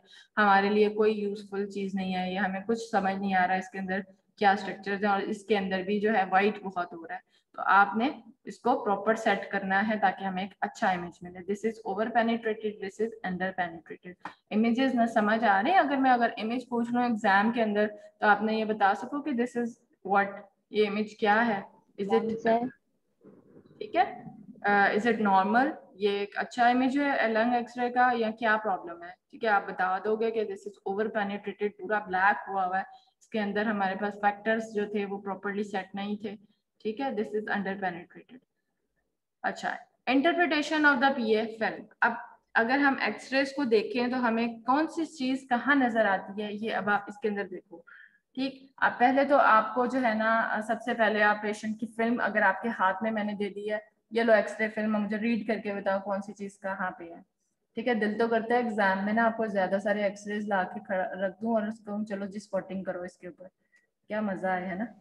और मैम अच्छा। अभी तक देखी नहीं है हम कैसे करेंगे? मैं पढ़ाऊँगी तो आपको आएगा फिर आपको आएगा तो आप कर लोगे। ठीक है ना? अच्छा आपको एक्सरे फ़िल्म मैंने दी है आपने सबसे पहले उसकी पेशेंट की डिटेल पढ़नी है। सबसे पहले आपने ये नहीं कि धड़ाधड़ से मुझे बताना शुरू कर दिया ये वो एक प्रॉपर हर स्टेप होता है। आपने बताया दिस पेशेंट इज़ दिस ठीक है मेल है या फीमेल है इतनी एज का है इतनी डेट के परफॉर्म किया गया था और ये क्लिनिकल प्रेजेंटेशन थी इस क्लिनिकल प्रेजेंटेशन के साथ आया था और फिर उसका चेस्ट एक्सरे परफॉर्म किया गया था। ओके okay, आपने मुझे बता दिया। देन बताओ मैं बताऊँगी अच्छा आपको इस एक्सरे में क्या क्या नज़र आ रहा है? क्या क्या नज़र आ रहा है वो आप जितने मुझे पॉइंट्स बताओगे इतने अच्छे हैं ठीक है? वरना तो एक्सरे के अंदर आपको इतनी सारी चीज़ें नज़र आ रही है। अगर हम पीए व्यू को देखें तो पीए व्यू के अंदर हमें एक्सरे यू नज़र आता है ठीक है? अगर हम इसको थोड़ा सा सिर्फ़ इमेज को आ, मैं आपको मेन मेन चीज़ें बताती हूँ फिर आगे फिर हम और डिटेल देखेंगे। मैंने लास्ट टाइम बताया था कि वैसे अगर हम देखें तो सामने हमें अनेटमी पता है तो हमें पता है कि यहाँ पे हमारे पास क्या क्या चीज़ तीन चीज़ें होती हैं यहाँ पे। एक हमारे पास ट्रिकिया होता है एक हमारे पास क्या होता है? एस्टोफिगस होता है और पीछे हमारे पास स्पाइन होती है। ठीक है? अब वो तीनों चीज़ें एक दूसरे के ऊपर ओवरलैप कर रही होती हैं। ठीक? अब हमें जो है ये पता है कि जो एयर वाले स्ट्रक्चर्स हैं वो हमें ब्लैक नज़र आते हैं। यहाँ पे हमारे जो ब्लैक ट्यूब आपको पता है ट्रेकिया आगे जाके फिर बाइफरकेट हो जाता है यूँ ठीक है? तो इतनी ट्यूब जो कि यहाँ तक आ रही है ब्लैक कलर की हमें इसके अंदर दिस इज़ ट्रेकिया समटाइम्स क्या होता है वो आ, जो है ना आ, क्या कह सकते हैं इधर या उधर हमारे बिल्कुल सेंटर में होना चाहिए वो आपने देखना है इसको ब्लैक को। दिस इज़ ट्रेकिया एस्ट्रोफिगस जो है वो इसके पीछे होता है, वो हमें नज़र नहीं आता। इसीलिए हम कहते हैं कि जब हमने एसोफिगस को स्टडी करना है फ्लोरोस्कोपी के ऊपर तो हम उसको बेरियम पिलाते हैं तो वो पूरी एसोफिगस हमें व्हाइट कलर की हाईलाइट हो जाती है। ठीक हो गया? एसोफिगस इसके पीछे होती है। फिर उसके पीछे हमारे पास स्पाइन है, जो कि वर्टेब्राज हमें इस तरह, अगर हम फ्रंट से देखें तो आपको वर्टेब्रा को आपने वर्टेब्रा के पीछे एक स्पाइनस प्रोसेस देखा होगा। ठीक है? स्पाइनस प्रोसेस क्या होता है? होता अगर उसको हम साइड से देखें लेटर व्यू में तो वो लंबा साइड पीछे की तरफ़ को वो एक प्रोटीजन सी होती है, ठीक है? स्पाइनस प्रोसेस लेकिन अगर हम उसको फ्रंट से देखें, यूँ करके तो वो हमें क्या नज़र आता है? वो स्पाइनस प्रोसेस डॉट्स नज़र आते हैं, उस वर्टेब्रा के अंदर। ये व्हाइट कलर के जो है ना फ्रंट से देखो तो वो हमें इस तरह के डॉट्स नज़र आते हैं। क्लियर है तो these are the spinous process जो वर्टेब्रा के अंदर है। ब्लैक जो है, वो क्या है? ट्रिकिया है। ठीक है? और जो एसोफिगस है वो ट्रेकिया के बैक साइड पे होता है वो हमें क्लियर नहीं होता पीए या एपीबी के अंदर। ट्रेकिया हो गया। फिर उसके बाद हम लोगों के पास ये वाली कौन सी बोन जा रही है दोनों साइडों पे? दिस इज़ क्लेविकल ठीक हो गया? सेंटर में हमारे जो होता है ना मेडिएस्टिनम जो जहाँ पे मेन्यूब्रम जहाँ पे ये दोनों क्लेविकल बोन जो है अटैच होती हैं। स्टर्नम हमारे पास यहाँ सेंटर में है। ठीक है? वो भी इसके ऊपर यहाँ पे इतनी सारी चीज़ें ओवरलैप हुई हुई है कि पीए व्यू के अंदर हमें क्लियर नज़र ही नहीं आता। जब हमने इस वाले स्ट्रक्चर को देखना ना, यहाँ जितनी चीज़ें देन हम लोग जो है उसका लेटरल व्यू करते हैं। ये हमारे पास वाइट नीचे क्या है? ये डायफ्राम है, ठीक है। ये हमारे पास हार्ट है और ये जो यूँ करके गोल सा यहाँ पे आ रहा है ना, ये एओटिक आर्च है, ठीक है। जब हमारे पास पता है ना, हमें क्या हार्ट की एनाटमी में आपको आर्च ऑफ़ एओटा किस तरह बनती है जब असेंडिंग एओटा ऊपर को जाता है देन हमारे पास यूँ कर्व में आके arch of aorta and then descending aorta यूँ नीचे। यूँ जाता है ना? यूँ जब वो आर्च बनाता है ना, यहाँ से यूँ नीचे की तरफ़ को जाने के लिए तो उसको कहते हैं हम लोग एओटिक आर्च या एओटिक नॉब यहाँ पे आपको क्लियरली यूँ करके बाहर की तरफ़ को गोल सा नज़र आएगा। ठीक हो गया? फिर हमारे पास ये लंग्स के हाइलम है दोनों साइडों पे। ठीक, ये वाइट वाइट वाइट वाइट जो नज़र आ रहे हैं हाइलम हो गए। ये हमारे पास रिब्स हैं वाइट कलर की नज़र आ रही हैं। ठीक है डायफ्राम मेजर मेजर ये सारी चीज़ें जो इस पर लिखी हुई हैं, वो हमने देख ली हैं। ट्रिकिया नज़र आ गया हार्ट एंड मीडियास्टिनम और डायफ्राम आ गया। देन हमारे पास प्लूरल स्पेसिस है, ठीक है, ये हमारे पास प्लूरल स्पेसिस है दोनों साइड पे ये नीचे। ठीक है लंग्स कैसे नज़र आ गए, ठीक है। हिडन एरियाज़ कौन से हैं, वो जो सेंटर में हमारे पास सारे ओवरलैप हो रहे हैं दीज आर हिडन एरियाज़ फिर हमारे पास क्या है हाइलम जो है लंग्स का, ये वाइट वाइट जहाँ पे आपको वेसल्स नज़र आ रही हैं, सारी हाइलम है। ठीक है बिलो डायफ्राम हमें कुछ नज़र नहीं आ रहा, हमें बस ये पता है कि दिस इज़ डायफ्राम लेकिन अगर हम लोग इस साइड पे देखें तो हमारे इस साइड पे क्या होता है स्टमक होता है, साथ ही डायफ्राम से नीचे इधर पड़ा होता है। तो जो भी गैस एयर कोई भी चीज़ हमें, उसके ऊपर ब्लैक नज़र आती है तो ये आप देख रहे हो ब्लैक कलर का डायफ्राम के नीचे क्या है? ये इसके अंदर गैस है। ठीक है? बिलो डायफ्राम देख लिया, फिर उसके बाद सॉफ्ट टिश्यूज अगर हमें क्लियर नज़र आ रहे हैं तो चीज़ तो उनको अगर हमने स्टडी करना है, वो और बोन्स हमने कौन कौन सी देखनी है, वो देख ली क्लाविकल देख ली रिप्स देख ली स्टर्नम देख लिया वटेप्रा देख लिया दीज आर द बोन्स ठीक है? ये हमने मेजर चीज़ें पीए यू के ऊपर आपने इंटरप्रेट कर ली है कि ये हमें ऐसी चीज़ें नज़र आती है। क्लियर है? अब आ जाओ टेक्निकल फैक्टर्स के लिए, अब हमने कौन सा व्यू पढ़ा है? पीए व्यू एक व्यू पढ़, अच्छे से डिटेल में अभी मैं पढ़, पढ़ा रही हूँ, आगे सारी कुछ यही चीज़ें हैं। कि आपने बस याद करनी है कि इसको किस तरह हमने परफॉर्म करना है। ठीक है? पीए व्यू के जो प्रोजेक्शन है, फिर उसके बाद सस्पेंडेड सस्पेंडेड इसके अंदर इंस्पिरेशन रिक्वायर्ड है, आपने पेशेंट को इंस्पायर्ड में उसका स्कैन करना है। सेंट्रल पॉइंट कहाँ रखना है? आपने जो मैंने प्लस साइन आपको बताया था, वो आपने at the level of seven thoracic vertebra जो है, हमें ये चीज़ ना आहिस्ता आहिस्ता जब हम प्रैक्टिकल में आते हैं ना तो हमने बस गिन के नहीं करना होता, हमें पता चल जाता है कि जैसे सेवंथ वर्टेब्रा ऑलमोस्ट तो हम वहाँ पे उसका सेंट्रल पॉइंट जो है, वहाँ रख देंगे। लेकिन अभी आप टेक्निकल फैक्टर्स आपको क्लियर होने चाहिए। ठीक, उसके बाद आपने कॉलिमेशन कितनी रखनी है? सुपीरियरली कितना हमने खोलना है? Five centimetre above the shoulder joint to allow proper visualization of the upper airways inferiorly करना है कहाँ तक? Inferior to the inferior border of the twelfth rib ठीक है कॉलिमेशन कितनी खोल ली? ऊपर से हमने थोड़ा सा फाइव सेंटीमीटर शोल्डर ज्वाइंट से अबव रखना है। और इंफीरियरली हमने कितना सेवन रिब से थोड़ा सा बिलो रखना है। लेटरल साइडों से देखें तो to the level of the acromion clavicular joint जो है ना, वो इंक्लूड करना है। ये हमारी कॉलिमेशन होगी कि ये वाला एरिया अगर इतना कॉलिमेट करेंगे तो इमेज भी इतना ही हमें मिलेगा। वो लाइट ऑन होती है तो वो हमें क्लियर बता देता है कि कितने हम लोगों ने उसका खोलना है कॉलिमेशन ओरिएंटेशन क्या होगी कि हमने लैंडस्केप या पोर्ट्रेट के अंदर उसको व्यू करना है, उसका स्कैन करना है। डिटेक्टर साइज़ जो कि हमारी फ़िल्म है, जो हमारी कैसेट है, जो हमने उसके अंदर लोड करनी होती है, उनके डिफरेंट साइजेस होते हैं, ठीक है? तो अगर पेशेंट बहुत ज़रा उसकी हाइट भी अच्छी है चेस्ट हमें पता है, उसके तो हम लोग बड़ी वाली कैसेट यूज़ करेंगे। डिफरेंट साइजेस होते हैं कैसेट्स के, और उसके अंदर अगर हमने कोई और छोटा फॉर एग्जांपल स्ट्रक्चर एक्सरे करना है हैंड का करना है फिर हम छोटी फ़िल्म यूज़ करते हैं ठीक है तो डिफरेंट साइजेस है फ़िल्म की, लेकिन अभी हम इसका चेस्ट एक्सरे का पढ़ रहे हैं तो चेस्ट एक्सरे के अंदर हमें कितनी वाली फ़िल्म चाहिए? Thirty five centimetre to forty three centimetre जो है ना, इतनी वो वाली जो है ना, इसके लिए की जाती है। अच्छा अब आज जो एक्सपोजर फैक्टर्स कितने रखने हैं? हमने हंड्रेड से वन टेन जो है केवी रखना है और फोर टू एट एम रखना है। ये आपने जब उसकी जो हमारा कंसोल है, उसके ऊपर बस जाके इसको सेट कर दिया।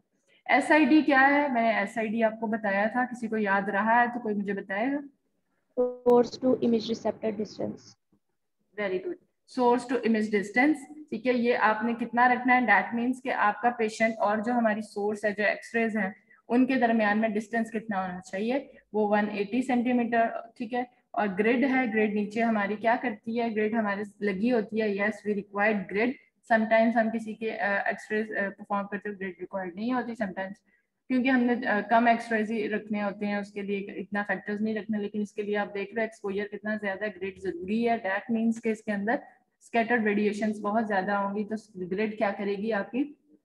जो स्कैटर्ड रेडिएशन है, उनको अब्जॉर्ब कर लेगी और हमारे पास वांटेड जो एक्सरेज हैं, जो वो हमारे पास इमेज परफॉर्म करेंगे। तो ग्रिड लगी होगी नीचे? यस ठीक हो गया? अब ये चीज़ें तो अब अब बार बार अब सारी जो जो है ना, जितने भी हम आगे पढ़ेंगे ना, उसके अंदर ये सारी चीज़ें रिपीट होंगी। सेंट्रल पॉइंट कहाँ रखना है? कॉलिमेशन कितनी रखनी है? ठीक है ओरिएंटेशन डिटेक्टर साइज़ आपने फ़िल्म का केसेट का कितना रखना है? एक्सपोजर का फैक्टर कितना रखना है? S I D grid yes ठीक है? अब आ जाओ हम जल्दी जल्दी से ना अगले सारे व्यूज़ को देख लेते हैं, अब आपको समझ आ जाएगी। लेटरल फ़िल्म ठीक है? लेटरल व्यू करना है। पेशेंट की पोजिशनिंग देख रहे हो? अब हमारे पास क्या होगा? जो रेज है वो इस साइड से एंटर होंगी पेशेंट के और दूसरी साइड पे जो लेटरल साइड है, उस तरफ़ हमारा वो केसेट लगी हुई है इसके अंदर। केसेट इसके अंदर लगी होती है। यहाँ से साइड से ना एक जगह बनी होती है, उसके अंदर हम लोग इसके अंदर लोड करते हैं, यहीं से निकाल लेते हैं। ठीक है, ये बकी जो स्टैंड है इसके अंदर, ये लेटरल व्यू है। लेटरल व्यू के अंदर इंटरप्रिटेशन आप देख रहे हो, इसके अंदर क्या होता है? और अच्छे इमेजेस आप गूगल पे भी देखा करो इमेजेस आपको क्लियर होते जाएँगे। इनकी एनाटमी पढ़ा करो साथ में कि किस तरह हमें एक्सरेस के ऊपर कौन सी चीज़ कहाँ नज़र आती है। इमेजेस वालों की इमेजिंग वालों की इमेजेस इतनी अच्छी होनी चाहिए उसकी एनाटमी इतनी मैं बार बार कहती हूँ आप लोग इसको देखा करो। वैसे ही जो हाथों में मोबाइल लेके बैठे रहते हो ना सारा दिन इससे अच्छा कि गूगल पे कुछ एक दो इमेजेस देख लिए एक्सरे के इमेजेस देख लिए ठीक है? उनको आप लोगों ने आ, के कौन से व्यू के अंदर कौन सा स्ट्रक्चर किस तरह का नज़र आता है। देख लिया रोज का एक दो देख लिया करो आपको बड़ी पक्के होते जाएँगे जेन में। ठीक है सीटी के इमेजेस किस तरह नज़र आते हैं एक्सियल स्लाइसेस के ऊपर एमआरआई के इमेजेस एनाटमी आहिस्ता आहिस्ता आपको बड़ी क्लियर कंफर्म और आपको इस तरह की पक्की हो जाएगी ना कि आपको कभी भूलेगा नहीं। ठीक है तो और क्लियर इमेजेस देखा करो वो लेबल साथ होते हैं आपको क्लियर हो जाएँगी चीज़ें कि आपको फिर पता हो जाएगा कि अगर अच्छा कुछ इमेजेस ऐसे होते हैं आपको नहीं समझ आ रहे ना एक्सरे के ऊपर इमेजेस ऐसे खोल लिया करो लेटर व्यू डायग्राम में जिस तरह होता है ना, जिस तरह बुक्स में डायग्राम बनाते हैं ठीक है डायग्राम के अंदर कोई इमेज और साथ में उसका एक्सरे देन वो दोनों का लेबल किया होता है, फिर आपको क्लियर हो जाती है चीज़ कि हमने एक्चुअली ये चीज़ इस तरह थी और एक्सरे के ऊपर इस तरह की वाइट या ब्लैक या नज़र आ रही है। उनकी जो ब्राइटनेस है, वो अकॉर्डिंग टू द डेंसिटी वो कितनी एब्जॉर्ब कर रही है रेडिएशन तो हमें उस तरह का नज़र आता है। ठीक हो गया। लेटर फ़िल्म के अंदर हमें जो है ना, एक तो क्लियरली स्पेसिस नज़र आती हैं रिट्रोस्टर्नल स्टर्नम के बैक साइड पे, क्योंकि पहले तो ओवरलैप कर रही थी। ठीक है? रिट्रो ट्रेकियर ट्रेकिया के बैक साइड पे हमें वो जो स्पेस है ना, ये दो स्पेसेस हमें लेटरल साइड पे क्लियर नज़र आती है। वट वर्टेब्रल ट्रांसल्यूकेंसी हमें इसके ऊपर बड़ी क्लियर नज़र आती है। ठीक है? डायफ्राम का आउटलाइन ठीक? फिशर्स हमें जो है ना जो उसके क्या है लंग्स के फिशर्स फिशर्स क्या होते हैं?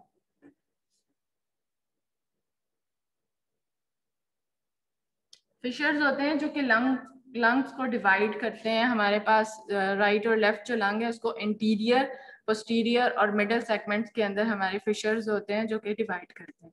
तो फिशर्स इसके ऊपर बड़े क्लियर नज़र आते हैं। ट्रेकिया स्टर्नम ये चीज़ें हमें लेटरल साइड पे बहुत क्लियर नज़र आती हैं, जो कि ओवरलैप हो रही थी एपी या पीए व्यू के अंदर। ठीक है? अब आ जाओ एपी व्यू एपी व्यू के अंदर the patient back is towards the cassette and the tube is 40 inches away from the patient अब हम लोग इसको पेशेंट को लिटा के भी कर, इसको कर सकते हैं। मोस्टली एपी व्यू उन्हीं में किया जाता है जो कि खड़े नहीं हो सकते। पेशेंट उनको हम लिटा लेते हैं और जो हमारी ट्यूब है वो ऊपर है यहाँ से ये कॉलीमेटर जो कॉलीमेशन है ये लाइट देख रहे हो? इतना एरिया को एक्सपोज करना था हमने। इतने एरिया में एक्सपोजर गया और हमें पीछे जो है यहाँ पे इस टेबल के नीचे कैसेट लगी होती है तो वो हमें इमेज बताएगा इतना एपी व्यू के अंदर। ठीक है ये आप देख रहे हो? एपी क्या इसके अंदर प्लस साइन कहाँ रखा हुआ है? इतनी कॉलिमेशन है, ये एपी व्यू है। ठीक है? एपी व्यू के अंदर इमेज ऐसा नज़र आता है, लेकिन इतना क्लियर नज़र नहीं आता जितना कि पीए व्यू के अंदर नज़र आता है। तो हम ये बहुत रेयर किया जाता है उन पेशेंट में जो कि परफॉर्म नहीं कर पा रहे अब ये पेशेंट देख रहे इतना कुछ ये क्या चीज़ें नज़र आ रही है? कुछ मुझे इस इमेज को क्लियर बताएगा? ये क्या है, ये क्या है, ये बीच में कुछ चीज़ें नज़र आ रही हैं। किसी को समझ आई है?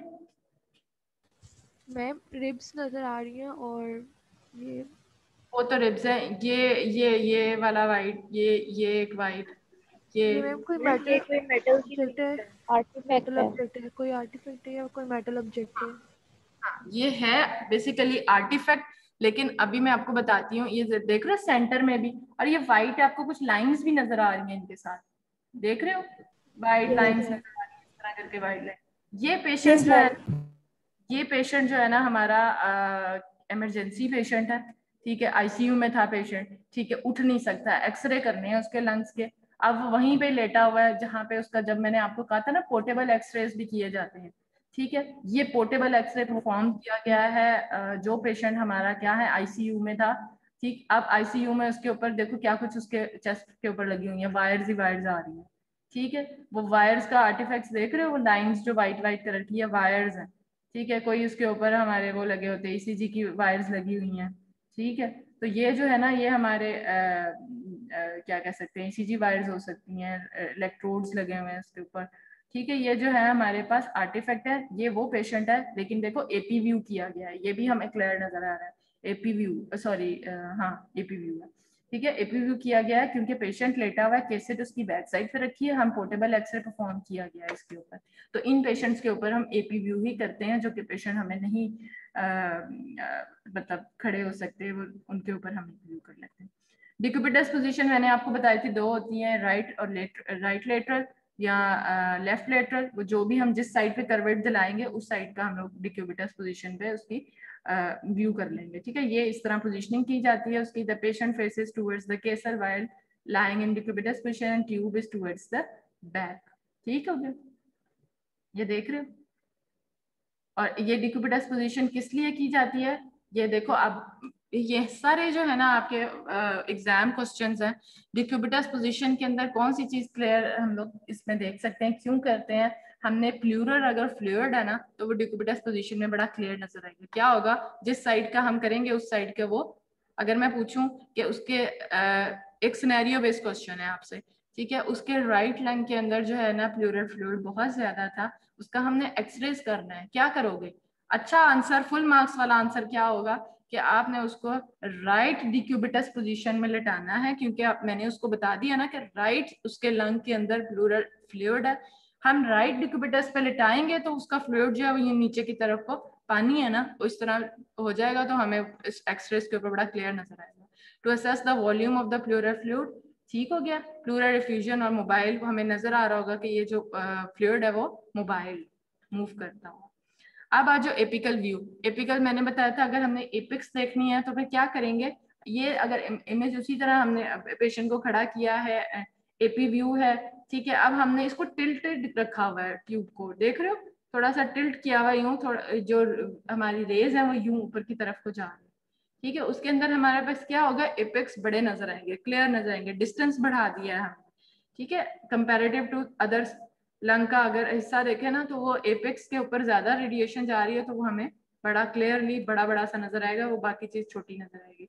तो हमने एपिक्स को ही देखना था this is apical view oblique के अंदर थोड़ा सा टिल्टेड होता है, बस आपको पोजिशनिंग पता होनी चाहिए ऑब्लिक व्यू के अंदर देख रहे हो, ये ये, और ऑब्लिक व्यू किस लिए किया जाता है? To visualize retro cardiac area जो हमारे पास ये एरिया अगर आप नॉर्मल लेटरल एक्सरे देखते हो ना तो ये हार्ट इस तरह स्पाइन के ऊपर ओवरलैप यहाँ पे हमें, यहाँ पे स्पेस जो ब्लैक कलर की नज़र आ रही है ना, ये उसके ऊपर क्लियर नज़र नहीं आती है।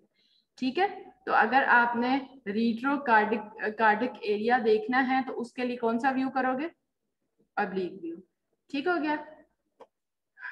कार्डिक एरिया और the posterior costophrenic angles the chest wall and the pleural plaques ये तीन, चार चीज़ें जो है, हमें इसके ऊपर क्लियर नज़र आती हैं ऑब्लिक के ऊपर क्लियर हो गया? अच्छा लॉर्ड डोटिक इसमें क्या करते हैं? पेशेंट की पोजिशनिंग देख रहे हो? दिस टेक्निक में be use to demonstrate right middle lobe right side पे तीन लोब होते हैं लेफ़्ट साइड पे हमारे पास दो लोब होते हैं। लेफ़्ट साइड के लोब को इंटीरियर और पोस्टीरियर कहते हैं ठीक है? और जो हमारे राइट साइड पे है उसके दरमियान हमारे पास एक मिडल भी होता है मिडल लोब ठीक है? अगर हम लोगों ने मिडल लोब को देखना है तो हम पेशेंट को इस तरह का, इस तरह की पोजीशनिंग करेंगे, जो हमारी एक्सरे की रेज है, वो इस तरह जाएँगी और हमें जितना अच्छा केसेट के जितना दूर जाएँगे ना तो वो इमेज हमें बड़ा बड़ा बड़ा नज़र आएगा। इसीलिए हम पेशेंट को क्या करते हैं नॉर्मली केसेट के बिल्कुल साथ उसको इंटैक्ट रखते हैं, बिल्कुल अटैच रखते हैं, ताकि हमारे पास इमेज बिल्कुल जिस तरह का है, उस तरह नज़र आए। थोड़ा सा गैप आ जाता है ना तो बड़ा नज़र आता है। तो समटाइम्स हम क्या करते हैं, जिस स्ट्रक्चर को हमने खुद बड़ा कर, देखना है तो उसके लिए हम इस तरह का उसकी पोजिशनिंग करते हैं। तो अगर हम लोगों ने मिडल लोब राइट लंग का देखना है तो उसके लिए लोडोटिक ये वाली पोजिशनिंग हम करते हैं ओके फिर आ गया पेयर्ड इंस्पिरेटरी या एक्सपिरेटरी ये वाला व्यू हम एक्सरे के अंदर कब करते हैं, ये हमारे अंदर ये करते हैं, हम दो एक्सरेज लेते हैं, ठीक है? इसमें क्या करते हैं, हम पेशेंट को एक दफ़ा इंस्पायर करवाते हैं, एक दफ़ा एक्सपायर करवाते हैं, ठीक है? इंस्पिरेटरी मूवमेंट और एक दफ़ा एक्सपिरेटरी मूवमेंट के अंदर उसको एक दफ़ा कहते हैं, लंबा सांस लो, उसने अंदर खींचा, रोक लिया, आपने एक्सपोजर लिया इमेज आ गया इंस्पिरेशन वाला फिर उसको कहा, लंबा सांस लो और छोड़ दो। उसने छोड़ा, आपने इमेज ले लिया, ठीक है? वो कौन सा इमेज हो गया? एक्सपिरेटरी ठीक है? तो ये दो इमेज हमने ले लिए इसके। ये क्या बताएगा? Demonstrate air trapping and diaphragm movement दोनों व्यू के अंदर हम देखेंगे ये एयर ट्रैपिंग और diaphragm movement very important in diagnosis of inhaled foreign body in children sometimes क्या होता है बच्चे कोई ना कोई क्वाइन कुछ भी जो है ना इनहेल कर लेते हैं तो उसके लिए हमने दोनों उसके अंदर व्यू करने होते हैं इस इंपॉर्टेंट है। ये इंस्पिरेशन देख लो डायफ्राम नीचे चला गया एक्सपिरेशन हमारा डायफ्राम ऊपर आ गया ठीक है? Yes, अब आ जो हैंड हैंड की पोजीशनिंग ये कौन सा स्कैन किया गया है? क्या प्रोजेक्शन है? कोई मुझे बताएगा? ये कौन सी साइड होती है हैंड की?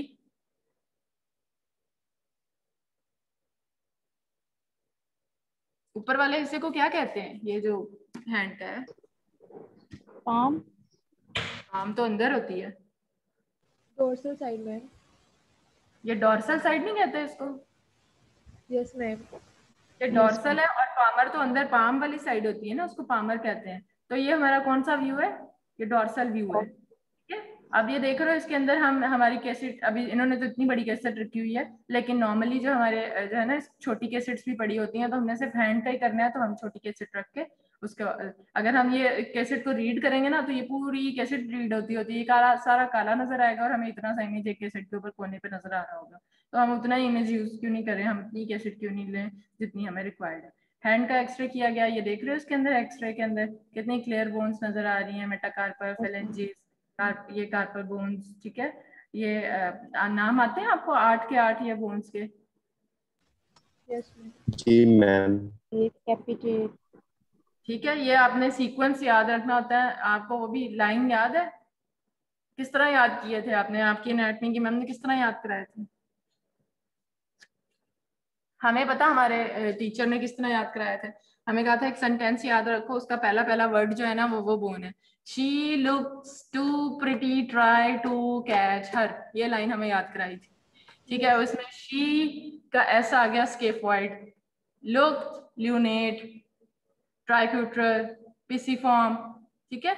She look too pretty try to catch her इस तरह करके हमने यूँ याद किया था उसका पहला पहला वर्ड और सीक्वेंस भी फिर हमने यूँ याद कर लिया था।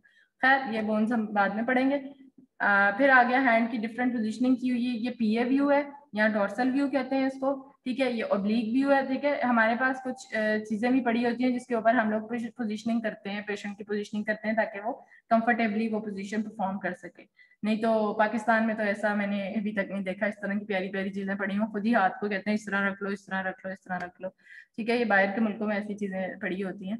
ठीक है, ये लेटरल हैंड है लेटरल साइड पे देख रहे हो जो एक्सपोजर है, किस तरह रेज हैंड पर होंगी, ये सारे व्यूज़ हैं हैंड के। पेशेंट की पोजिशनिंग क्या होगी? Patient is seated along side the table affected arm, if possible, is flexed at 90 so the arm and hand can rest on the table ठीक है, ये देख रहे हो, इस तरह, ये। ठीक है क्या हमने कंफर्ट भी देना है पेशेंट को the affected hand is place palm down on the image receptor shoulder elbow and wrist should all be in the transverse plane perpendicular to the central beam the hand and elbow should be at shoulder weight, which makes radius and ulna parallel. ये आपने positioning देख ली है तीनों की। अब उसी को आपने इसमें रीड कर लोगे, आपको समझ आ जाएगी। These are the technical factors के आपने हैंड का अगर एक्सरे करना है तो सेंटर पॉइंट कहाँ पे होगा? कॉलीमेशन कितनी खोलनी है? ओरिएंटेशन कैसी होगी? डिटेक्टर साइज़ फ़िल्म का कितना होना चाहिए? एक्सपोजर देख रहे हो? कम हो गया है। पहले ज़्यादा था हंड्रेड एंड टेन और हंड्रेड था। केवी और फोर टू फाइव एम था। इसके अंदर सिक्सटी फिफ्टी ठीक है वन टू फाइव एम लेकिन और भी हम बेहतर कर सकते हैं, कम से कम फैक्टर्स देंगे तो हमारा इमेज इतना अच्छा नज़र आएगा, हमारी मशीन अब बेहतर से बेहतर बनाई जा रही हैं, ठीक है? एस आई डी कितना होना चाहिए? हंड्रेड सेंटीमीटर और ग्रेड इसके लिए हमें रिक्वायर्ड नहीं है, इतना ज़्यादा क्योंकि एक्सपोयर नहीं था, ठीक है? आप समझ आइए टेक्निकल फैक्टर्स की, उसकी और इसका जब आपने फ़र्क देखा है। अब आज नी नी की एक्सरेस करने की क्या इंडिकेशन है बड़ा कॉमन है? Knee x-rays knee radiographs are indicated for a variety of settings including trauma bony tenderness ठीक है? फिर उसके बाद ये सारी चीज़ें जो ना ऑस्ट्रियोथ्राइटिस जॉइंट फ्यूजन इन सब की ये दी ज़्यादा indications to perform knee x-ray late हो गया आज हमारा, है लेक्चर साथ ही मेरी दूसरी क्लास थी। अच्छा अब इसकी पोजीशनिंग देख लो। एंट्रोपोस्टीरियर में उसी तरह पेशेंट के इंटीरियर साइड से पोस्टीरियर साइड पे रेज जाएँगी, ठीक? पोस्टीरियर साइड पे कैसेट है। लेटरल साइड पे देख रहे हो पेशेंट को हमने कैसे बेंड करवाया हुआ है उसका नी और यहाँ पे हमने कोई क्वेश्चन या कोई ऐसी चीज़ रखी हुई है। ठीक है, पाकिस्तान में आओ तो चलो जी, उनके चलो जी, सीधा करो जी पेशेंट को। ठीक है ना? यहाँ पे आपको बड़े बड़े ड्रामे मिलेंगे करने को। अच्छा फिर उसके बाद आप किसी गवर्नमेंट सेक्टर में जाओ, आपको बहुत ही ड्रामे मिलेंगे। वहाँ पे तो कोई इतना रश होता है ना पेशेंट का। इतना क्रश होता है, वो कहते हैं कि बस आते जाएँ और जल्दी जल्दी एक्सरे परफॉर्म करी जाए। ना कोई वो अलारा फॉलो कर रहे हैं, ना कोई रेडिएशन प्रोटेक्शन फॉलो कर रहे हैं। एक ही रूम में दो पेशेंट पीछे खड़े कर देते हैं, ठीक है, आपका भी एक्सरेज होगा। फ्री में लगे हुए नहीं पता उनको ये टेक्नीशियंस लगे हुए हैं। तो ये आपको मैं एक बात भी फिर इसके बाद बताती हूँ, फटाफट से ये देख लें। नी सीरीज़, ठीक है, ये आपका कौन सा व्यू है? एपी व्यू, फ्रंट से देख रहे हैं और ये हमारा लेटर व्यू है। देखो, इसके ऊपर बोन जो पटेला है, वो इसके ऊपर ओवरलैप कर रही थी, हमें स्पेस नज़र नहीं आ रही थी। हम अगर लेटरल व्यू के अंदर देखें तो कितना क्लियर सारी चीज़ें तो एपी एंड लेटर का ये फ़ायदा होता है this is the rule of two technical factors knee के लिए ये सारे रखते हैं collimation orientation exposure S I D and grid ठीक है? फिर हमारे पास आ गया important cervical spine cervical spine का एक्सरे देख रहे हो? पेशेंट को कैसे खड़ा करना है? हमने लेटरल साइड से जो है वो ये इसका सेंट्रल बीम जो है वो कहाँ रखनी है? पेशेंट को कैसे खड़ा करना है? ये कॉलिमेशन है। इतनी कॉलिमेशन देखो, कान के ऊपर तक थी ना तो इधर तक ही हमें एक्सरेज नज़र आएगा। जिधर तक हम कॉलिमेशन रखेंगे ना, उतना ही हमें एक्सरे जो है वो नज़र आएगा। ठीक है? ये मार्कर है वेरी इंपॉर्टेंट मार्कर साइड रखनी है। राइट साइड पेशेंट की कौन सी है? लेफ़्ट साइड कौन सी है? कितने वर्टिब्रास होते हैं? हमारे गर्दन की कितनी बोन्स होती हैं? सेवन होती हैं। ठीक है? किस किस तरह का एक, ये देखो, अगर अगर मैं इस पेशेंट को रिपोर्ट करूँ तो दिस इज़ नॉट नॉर्मल क्यों? बताओ, कोई बताएगा? ऐसा होता है ना? नहीं होता। ये स्ट्रेटनिंग हुई हुई है नेक की और जो स्ट्रेटनिंग के साथ साथ रिवर्सल इसका जो कर्वेचर है ना रिवर्सल की तरफ़ जा रहा है यूँ। यूँ होता नहीं है, ये यूँ होता है, बाहर की तरफ़ वो कनकेव ठीक है? थोड़ा सा नॉर्मली जो हमारा देखो तो अगर यूँ हमारा एक्सरे नज़र आया है सर्वाइकल का तो डेट मीन्स मस्कुलर स्पैज्म हुआ हुआ है मसल्स ने उसको उतनी स्ट्रेटनिंग कर दी हुई है, जिसकी वजह से पेशेंट को कंप्लेन है पेन की और ये वो, उसका कर्वेचर अगर देखो तो ये स्ट्रेटनिंग और स्ट्रेटनिंग के बाद हल्का का आगे की तरफ़ को कर्व बनता जा रहा है रिवर्सल होता जा रहा है। तो this is not normal indication क्या हो सकती हैं? या पढ़ लेना, ठीक है ट्रॉमा हो सकता है, ये ये जो भी जो है ना, उसकी हैं टेक्निकल फैक्टर्स ये सारी चीज़ें हो गई और आज का हमारा लेक्चर कंप्लीट हो गया है। अभी तक कोई चीज़ समझ ना आई हो फटाफट से मुझसे पूछ लो फिर मैं आपको एक बात बताती हूँ।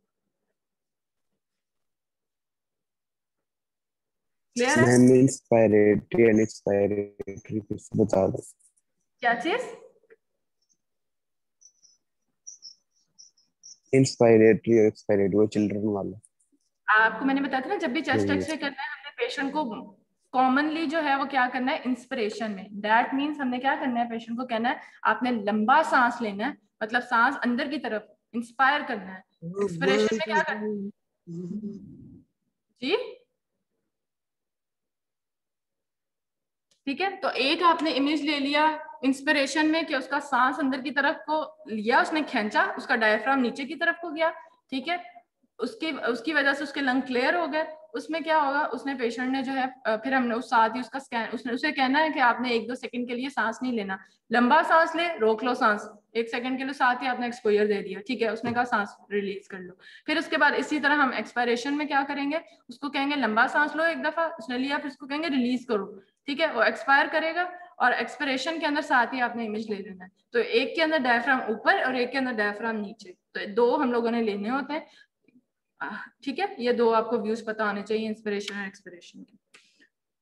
ठीक है, आज का लेक्चर भी बड़े मज़े का इंटरेस्टिंग सा था। अब आपको समझ आया होगा कि हमने जो है एक्सरेस परफॉर्म करने हैं तो क्या पोजिशनिंग होनी चाहिए? अब आपको फैक्टर्स पता चल गए। अब स्टेप बाय स्टेप हम ऊपर की तरफ़ को जा रहे हैं। बेसिक हमारी क्लियर होती जा रही हैं चीज़ें। आज की सारी पोजीशनिंग पे थी। पोजीशनिंग के अंदर टेक्निकल फैक्टर्स बड़े इंपॉर्टेंट है और पेशेंट की पोजीशनिंग इस लेक्चर के अंदर पेशेंट पोजीशनिंग और इस पोजीशन के अंदर हमें क्या चीज़ क्लियर नज़र आती है, वो चीज़ हमने इसमें पढ़नी है और थर्ड हमने इसके अंदर टेक्निकल फैक्टर्स पढ़नी है। क्लियर है? अच्छा मैं रेडिएशन की बात बताने लगी थी कि आजकल जो है ना ये नहीं परफॉर्म किया जाता है। आपको पता है हम लोग मोबाइल हर वक्त साथ लेके फिरते हैं इसके अंदर भी रेडिएशन है ये हमारी लाइट है ये भी रेडिएशन है। हर चीज़ हम लोग इन्वायरमेंट पूरा हमारा रेडिएशन है। आपको पता है ये सारी बीमारियाँ ज़्यादातर रेडिएशन मैंने तो सुना है अभी आई डोंट नो ये कितना कितना कभी सच है लेकिन आ, मैंने कल परसों ही एक वीडियो देखी थी उसके अंदर मतलब ये बताया गया था कि ये जो कोविड है ना ये भी जो है वो एक रेडिएशन की वजह से जो है ना ये वायरस आया। ठीक है कोई कुछ कहता है कोई कुछ कहता है लेकिन जिस तरह हम लोगों के ये चाइना की उम्मीदवार ये वायरस है ठीक है मतलब उन पैदावार सॉरी उन्होंने ही जो है ना ये सुनने में आया ना कि चाइना से ही आया था और सारे चाइना ने ये जो है ना वायरस बनाया है और कुछ। आपको जापान का पता है ना वो जो आ, आ, क्या था वो आ, क्या था? कौन से दो कंट्रीज़ थी? हिरोशिमा हिरोशिमा नागासाकी हिरोशिमा और नागासाकी वो आपको रेडिएशन का पता है ना? अभी तक उनका इफ़ेक्ट है। ठीक है? इसी तरह वो रेडिएशन है ना आ, ये भी हमारी जितने भी आजकल जितनी भी अजीबोगरीब बीमारियाँ हम सुन रहे हैं ना ये सब रेडिएशन की वजह से हैं। तो ये रेडिएशन हमारी बॉडी के अंदर ये जो आयनाइज कर रहे हैं ना इसकी वजह से हमें जो है कैंसर हो रहे हैं और इनकी वजह से। आपने देखे होंगे जो हिली एरियाज़ के लोग हैं ना अगर आप शौकत खानम चले जाओ ना तो आपको आपने देखा होगा ये जो अफ़गानिस्तान और उस तरफ़ वाले लोग जो है ना, उस एरिया वाले, उनको बहुत कैंसर होता है। क्यों? मैंने ज़्यादातर लोग देखे हैं, पठान ही मतलब हो गए या मतलब मैं ये नहीं कह रही पठान मतलब उस एरिया के, उस तरफ़ वाले एरिया, अब शौकत खानम उस साइड पे फिर बनाया गया दूसरा हॉस्पिटल। इसी वजह से, अगर आप इस हॉस्पिटल में चले जाओ ना, मोस्टली केसेस जो है ना, वो उस एरिया के हैं, अफ़गानिस्तान और ये जो हिली एरियाज़ है। हिली आपको पता है हिल्स के अंदर से भी एक, रेडिएशन इमिट होती है। ठीक है? मैंने ये भी एक रिसर्च ही पढ़ी थी मैंने। आई एम नॉट श्योर कि ये कितना इसमें सच्चाई है या नहीं है लेकिन एक रिसर्च थी। इस तरह की चीज़ें आप लोग भी पढ़ते रहा करो रेडिएशन क्या है? रेडिएशन में अब आप आ गए हो आपकी फ़ील्ड इतनी अच्छी है ना मैं बताऊँ। आप इसके ऊपर रिसर्चेस करो आप पढ़ो आप इतना आपको मज़ा आएगा इस चीज़ को पढ़ने का। कि रेडियोलॉजी फ़ील्ड जो है वो कितनी अच्छी है। आप इसको अपने डायग्नोस डायग्नोस्टिक के लिए तो यूज़ कर ही रहे हो। इसके अलावा भी अब आप पढ़ा करो कि रेडिएशन हैं क्या? ठीक है? कितनी हार्मफुल है? कौन सी रेडिएशन हमारी आयनाइजिंग रेडिएशन जो हमारी बॉडी को हार्म कर रही है? वो कौन सी रेडिएशन थी जो जापान के अंदर जो अभी तक अ, उसका इफ़ेक्ट था? ठीक है?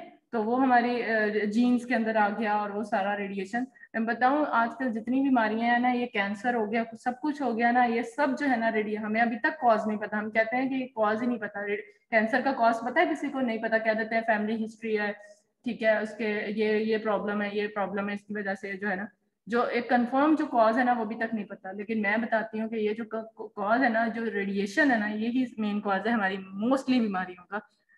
तो आप लोग को पता है रेडिएशन कितनी हार्मफुल है क्योंकि आप रेडियोलॉजी की हो तो रेडिएशन प्रोटेक्शन आपको पता होनी चाहिए। तो अलारा फॉलो करो हर जगह पे। ठीक है? इसके अलावा कोई क्वेश्चन बेटा मेरी क्लास साथ ही दूसरी है तो थोड़ा टाइम शॉर्ट हो गया। वरना मैं अगर कोई क्वेश्चन है ना तो आप लोग लिख के रखना। आज के लेक्चर के इंशाल्लाह नेक्स्ट लेक्चर में स्टार्ट में मैं आप लोगों से पूछ लूँगी। किसी का कोई क्वेश्चन होगा तो हम लोग उसमें आंसर कर देंगे। ठीक है?